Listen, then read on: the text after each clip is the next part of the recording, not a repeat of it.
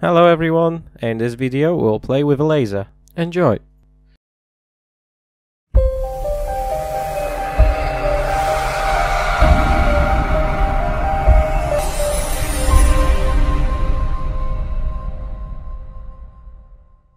NEJE DK3000 is a small laser engraver.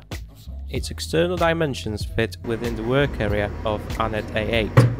It's made of acrylic, which assembled into rectangular shapes create a very stable construction. Both X and Y axes are powered by motors commonly used in CD-DVD drives. The presented model of the engraver is powered by 2.5 watt laser.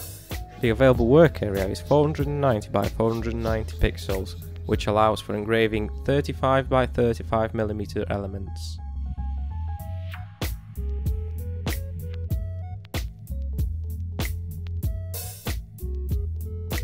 The control unit contains a dedicated circuit, four double MOSFETs controlling the motors, and a single MOSFET controlling the laser.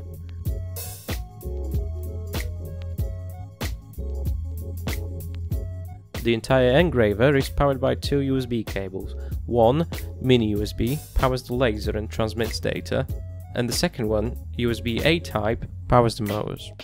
The laser used in this engraver is perfect for engraving in wood, it can also cut paper and thin foil, as long as it's not transparent.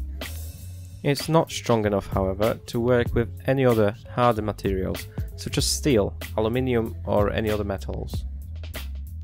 The engraver has just one physical button. It's used to start the engraving process once the model has been uploaded using the software provided.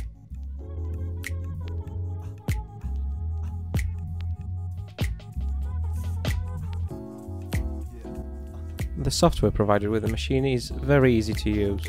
It supports generating text and conversion of graphics for use with the engraver. All you have to do to start is drag and drop an image onto the software's window. Prompt with choice of two images will appear. Simply pick the one that seems to be interpreted better by the software. Next, set the laser power depending on the material. The stronger the laser, the deeper the engrave will be, however, you will lose those fine details in the trade. Once all is set, we can send the project to the machine.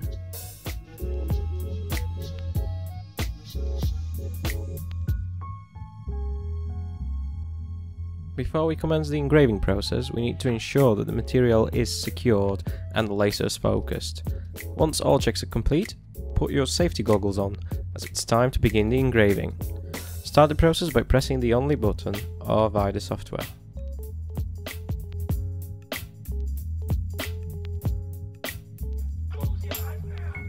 The obvious disadvantage of this model is its size.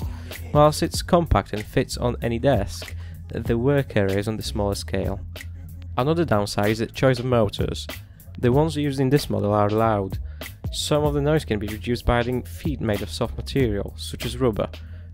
On the other hand, as previously mentioned, the build quality feels really good. The software is very intuitive and easy to use. This machine comes in a few variants where the difference is the laser power. The lowest model is 500mW laser and the most powerful is 3000mW. There is also a model that is battery powered which allows for the engraver to operate in very mobile conditions. You can get one on AliExpress for 60 to $100. This machine is fun to play with and a very good choice as an entry level device. You can learn a lot about engraving that's it for today, thanks for watching and I'll see you next time.